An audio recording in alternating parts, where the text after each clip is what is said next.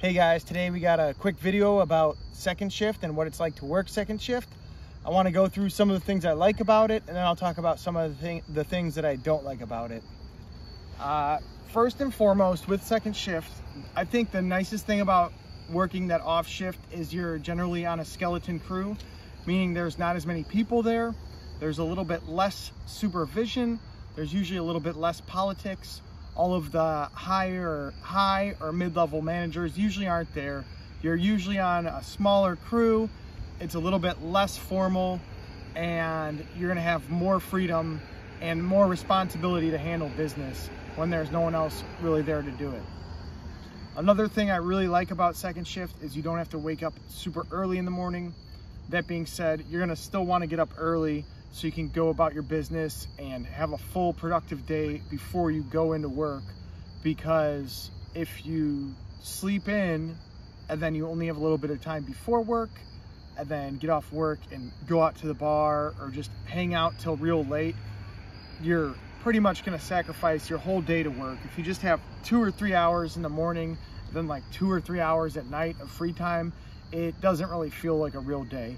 So if you can be disciplined enough to get up, let's say seven or eight in the morning, you can wake up at like seven, get ready for your day, go out, do whatever you want throughout the whole day.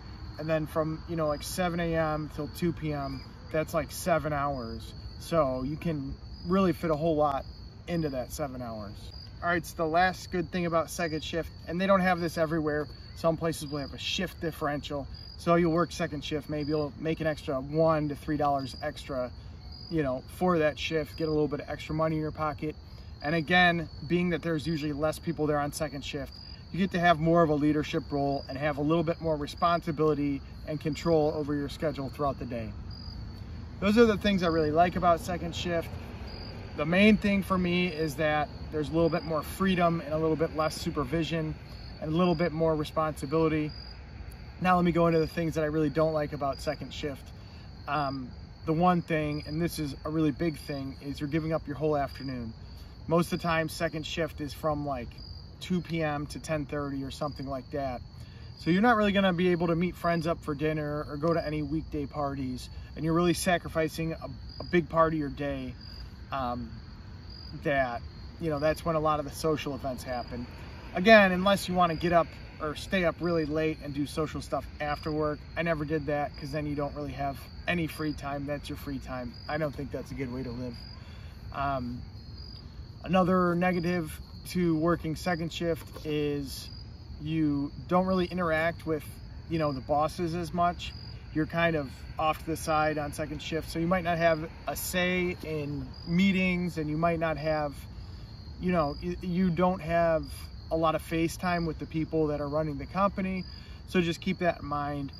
Um, you know, if your name comes up in a meeting, you're not really going to get a chance to defend yourself as much.